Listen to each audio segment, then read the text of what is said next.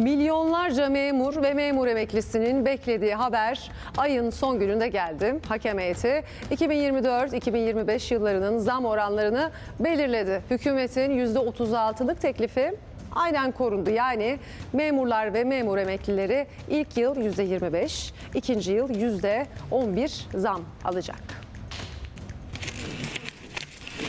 refah payı içeren yeni bir teklifle gelinmesidir.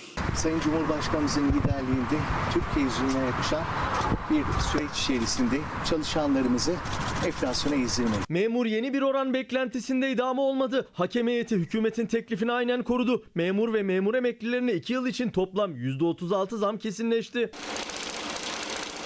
1 Ağustos'ta başlayıp 22 Ağustos'ta sona eren toplu sözleşme görüşmelerinde taraflar 2024 ve 2025 yıllarında uygulanacak zam oranında anlaşma sağlayamamıştı. Memur Sen %110 zam talebiyle masaya otururken hükümet %36'lık artış teklif etmişti. Uzlaşma çıkmayınca devreye hakem heyeti girdi. Günün şartlarına göre uygun teklifler, makul teklifler 45'e yakın bir zam artışı olacak tüm kamu görevlilerimize. Bence bu çok önemli bir Hakem heyeti bugün 5. kez bir araya geldi. Saat 10'da başlayan toplantı yaklaşık 4 saat sürdü ve karar 6'ya 5 oy çokluğuyla alındı. Hakem heyeti 2024 için %15 artı 10, 2025 için ise %6 artı 5 zamda karar kıldı. Yani hükümetin masaya getirdiği teklifte hiçbir değişiklik yapılmadı. Memur sen o karara kamu görevlileri, hakem heyeti, kamu işvereni gibi karar almıştır tepkisini gösterirken Bakan Vedat Işıkhan çalışma hayatımızın tüm paydaşlarına hayırlı olmasını diliyorum mesajını paylaştı.